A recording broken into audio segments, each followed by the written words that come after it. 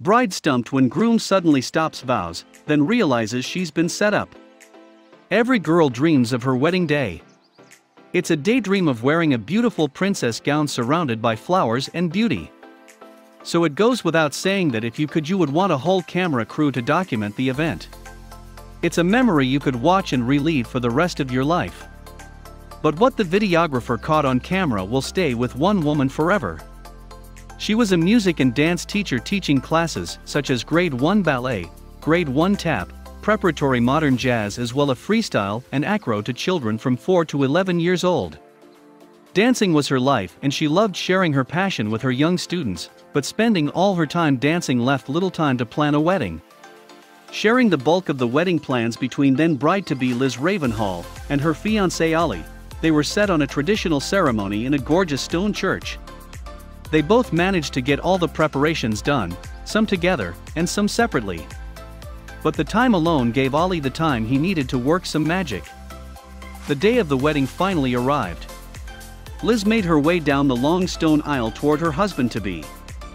She had no idea what was waiting for her, and the surprise on an already emotional day would leave her in tears. Ollie waited knowingly at the altar, although he kept a remarkably straight face right until the very last moment. Halfway down the aisle, the videographer started recording, and we see someone getting into a good position to take photographs. The photographer finds his place to the right of the aisle, but strangely, he doesn't even look at the bride. Instead, he turns to look at the guests. Another man with a camera appears on the left, and he also doesn't seem to be looking toward the bride. What were they doing? While Liz doesn't notice that the photographers are facing the wrong way, everyone else does, and the guests began to get a bit suspicious.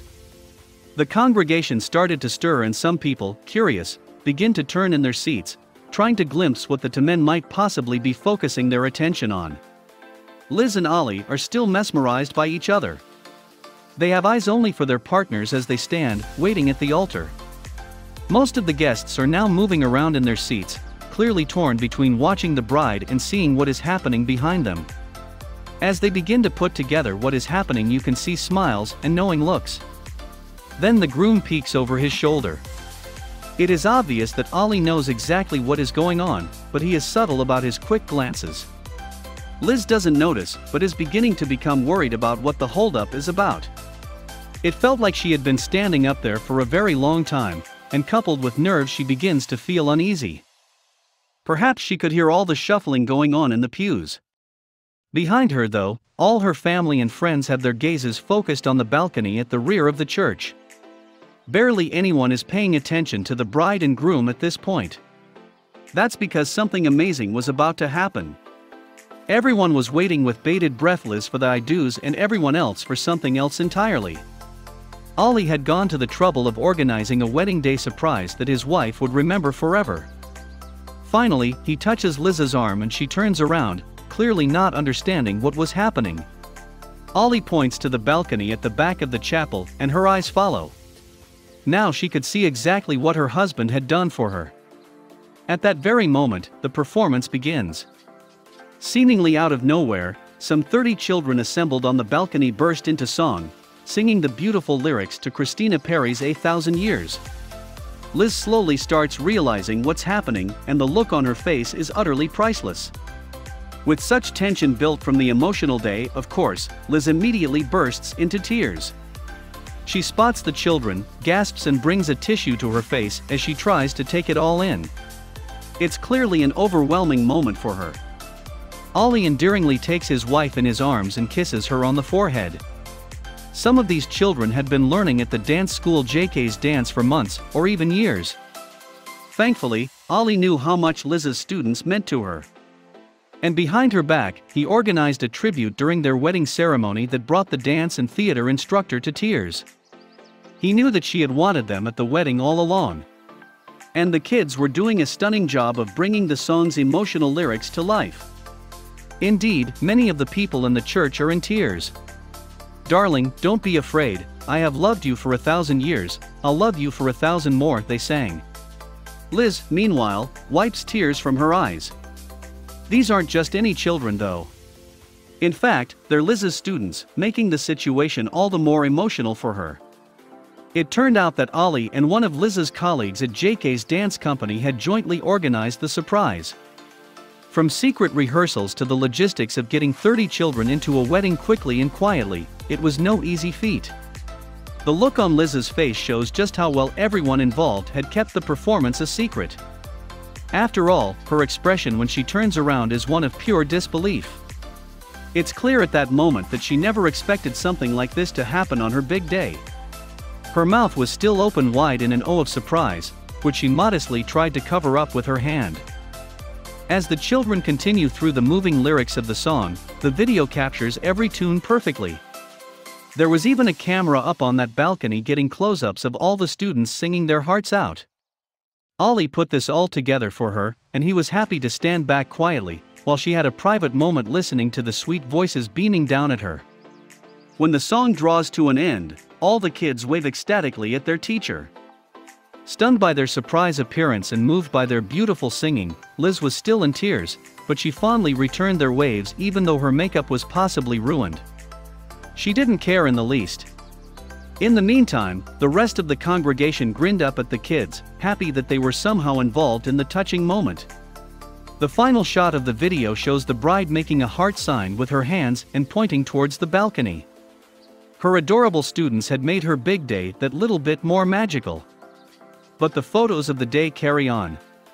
The couple leaves the chapel, showered by rose petals. And when their first dance came around, dance teacher Liz showed off with some graceful dip and turns. With such a thoughtful husband and caring wife, we are sure this couple will grow old together and share many more surprises, joy, and love. But Liz wasn't the only one who had a surprise guest at her wedding.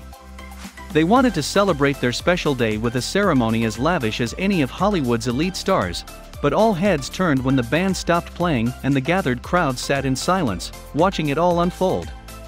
The bride wondered what she had done to deserve this. No one said a word, even as she clutched her stomach and buckled forward. Taylor Sinclair was playing a game of minor league baseball when he saw Samantha Karish up in the stands, that's when he knew he had to have her number. After two romantic dates, he had to suddenly leave for the beginning of the new baseball season. Would their relationship survive the long distance and time apart? Happily, for Samantha and Taylor, it was meant to be. Taylor decided that the time had come for him to just take the plunge and relocate to California to be with Samantha permanently. Although they had been through a lot lately, it's just made us even stronger, Samantha says. But something sinister lay ahead in their near future. It took four years for Taylor to get down on one knee and ask Samantha to make an honest man of him. While on a romantic vacation in Cancun, Mexico, Sam accepted, with butterflies in her stomach, and immediately set about every girl's dream, planning her fairy tale wedding. Unfortunately, fairy tales were out of reach for the moment. Sam and Taylor decided, as a lot of couples do, to have the wedding back where it all began. No, not on a baseball field but rather in beautiful Cancun, where Taylor had proposed, it was to be a destination wedding. They had big dreams of being surrounded by all of their family and friends, but then overnight, tragedy struck. But not everything had been easy for the couple. Leading up to the wedding tragedy stuck suddenly.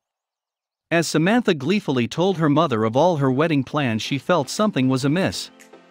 Her mother was very quiet, not at all her usual self, and Samantha's heart sank when her mother told her multiple sclerosis had worsened. She would never travel again, Taylor immediately said, If that's the case, we're abandoning that idea, Samantha recalled. They began to outline new plans with a wedding in San Diego, so as to be closer to her mother.